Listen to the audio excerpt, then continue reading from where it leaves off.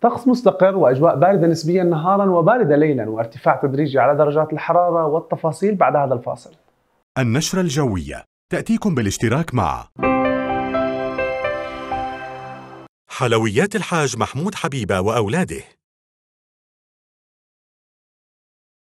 المناصير للزيوت والمحروقات. قهوة الغزالين. قهوة سريعة التحضير. شركة بسطامي وصاحب وكلاء نيسان وإنفينيتي في الأردن. شاي الغزلين جيل بعد جيل نفس الطعم الأصيل. المهنية للاستثمارات العقارية والسعودي وشركاه للتطوير العقاري. أعزائنا متابعين طقس العرب أسعد الله مساءكم.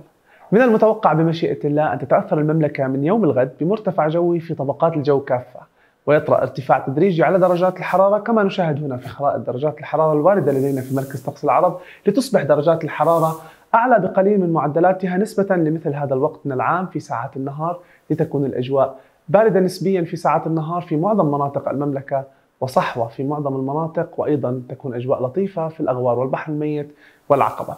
أما في ساعات الليل فمن المتوقع أن تكون الأجواء باردة في معظم المناطق وشديدة البرودة في المرتفعات الجنوبية ومن المتوقع أن يتشكل الصقيع في تلك المرتفعات. أما في العاصمة عمان فالأجواء غائمة جزئيا هذه الليلة درجة الحرارة تصل إلى 5 درجات مئوية وسرعة الرياح تصل إلى 5 كيلومترات في الساعة. أما في ثلاثة أيام القادمة في العاصمة عمان. ارتفاعات تدريجية يوم الثلاثاء 12 نهارا 14 نهارا يوم الأربعاء و15 درجة يوم الخميس. أما ليلا فارتفاعات بسيطة من 7 إلى 8 درجات مع يوم الخميس في العاصمة عمان.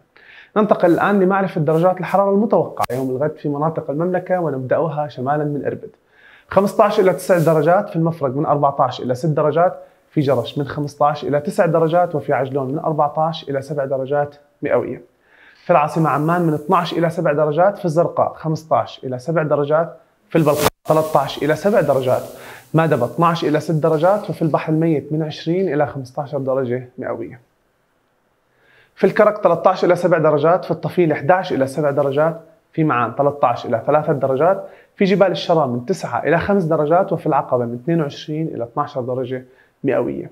في المناطق الشرقية في رويشة 15 إلى 5 درجات وفي الصفاوي من 15 إلى 6 درجات وفي الأزرق من 16 إلى 5 درجات أيضا. كانت هذه أبرز المعلومات واردة لدينا هنا في مركز طقس العرب. إلى أن نلتقي في نشرات قادمة دمتم في أمان الله.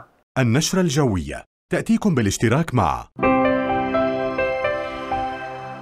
حلويات الحاج محمود حبيبة وأولاده.